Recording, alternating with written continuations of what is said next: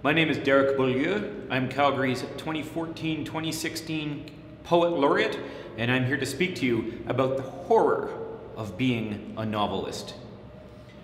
In Stanley Kubrick's 1980 film adaptation of Stephen King's The Shining, author Jack Torrance slowly loses his grip on sanity while ensconced in a winter long residency as caretaker for the seasonally closed Overlook Hotel.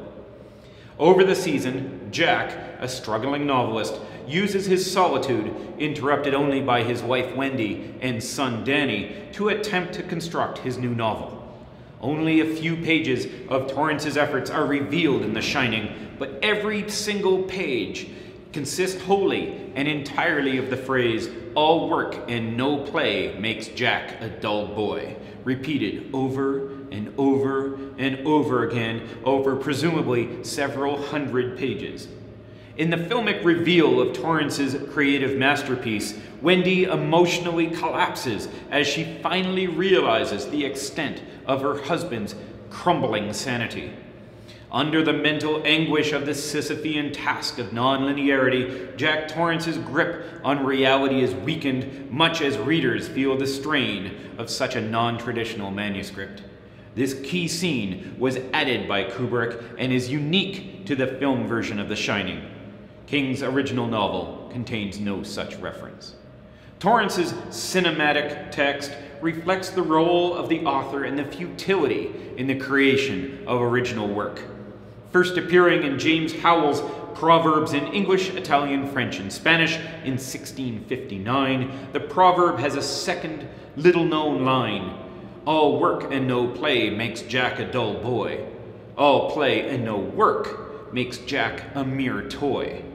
Extrapolating the first line of this proverb, all work and no play makes Jack a dull boy, suggests that novels informed entirely from the materiality of work without the play of narrative are inherently dull, both to the reader and the author, refuting John Cage's ideas of repetition and reiteration. The second line, however, counters this position by arguing that texts that are inherently playful are in fact nothing more than playthings, mere toys. The ideal text, if constructed well, will eschew the dull and the boring alike. A text should be written in terms not of whether it could be done better, but whether it could have been done in any other way at all.